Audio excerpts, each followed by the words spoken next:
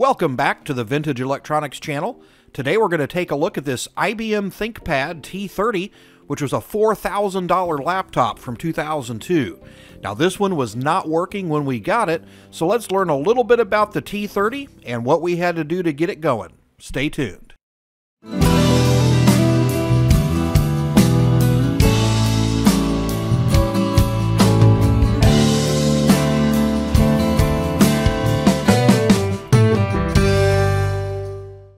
2002 was an exciting time. Windows XP had just been released the previous year, and manufacturers, including IBM, were looking for ways of making their machines top dog and top dollar.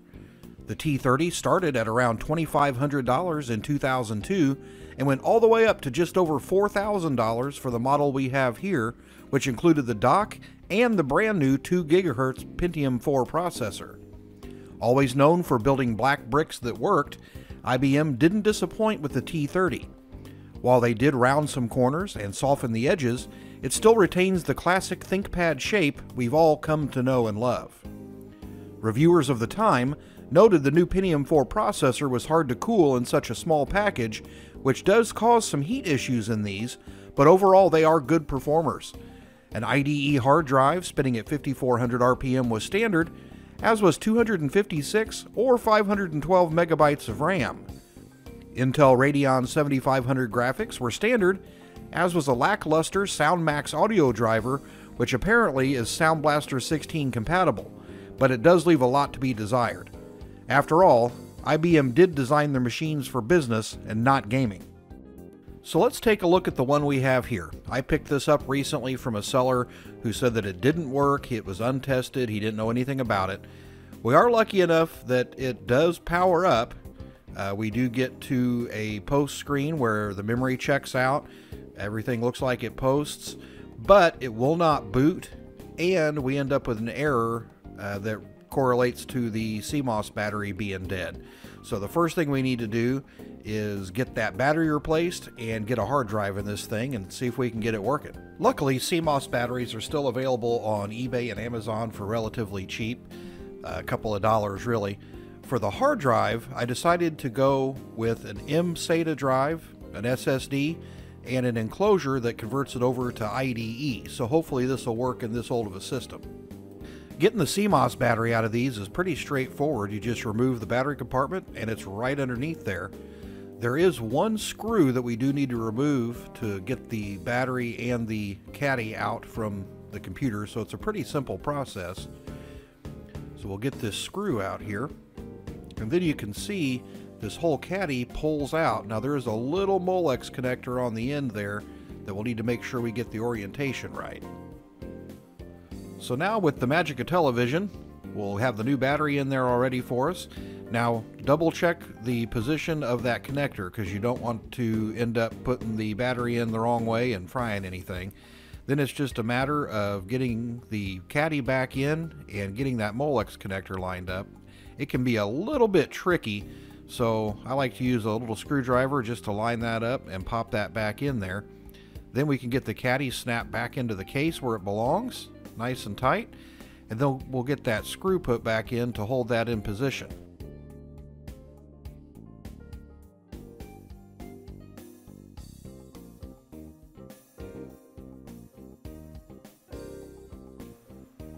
Once we get the screw tightened down, it's just a matter of putting the battery pack back in the back of the computer and we're done with that task.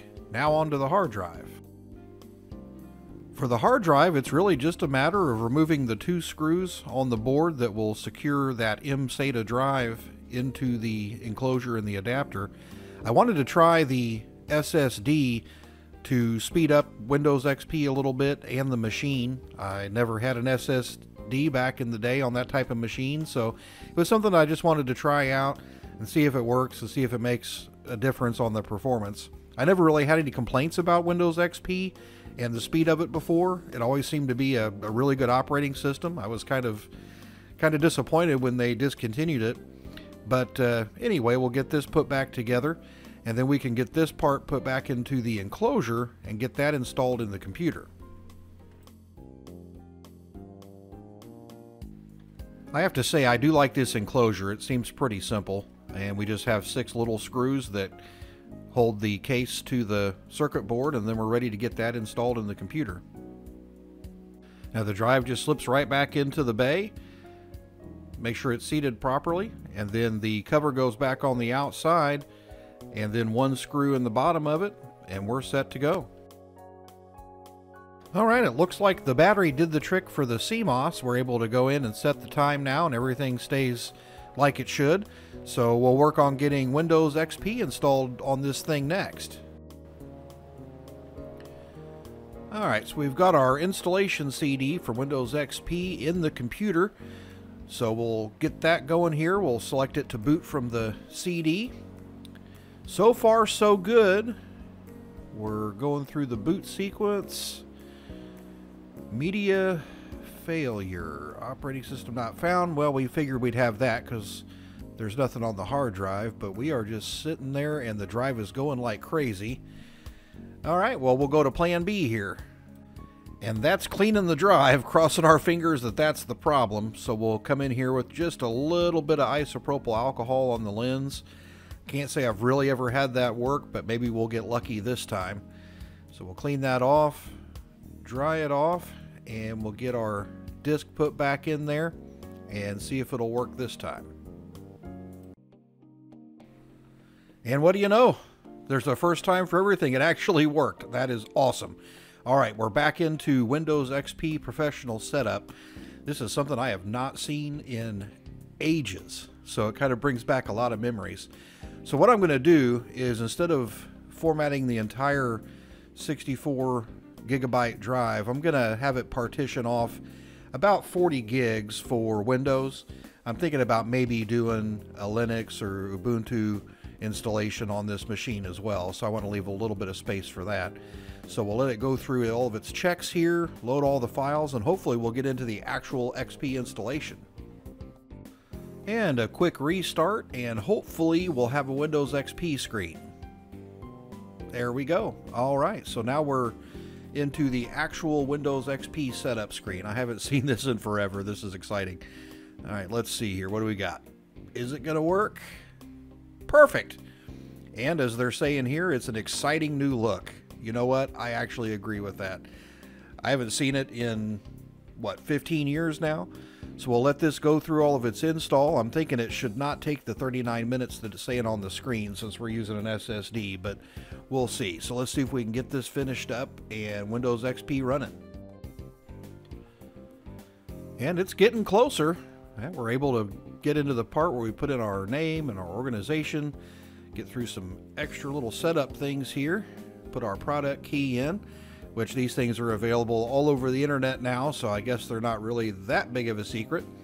So let's get that typed in, and after that, we should have a few more setup things and be booting into Windows XP.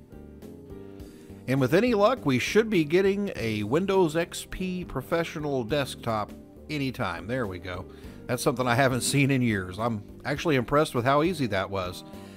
I'm also impressed with this little laptop. Now, it's had a hard life. It's actually you know, kind of worn out.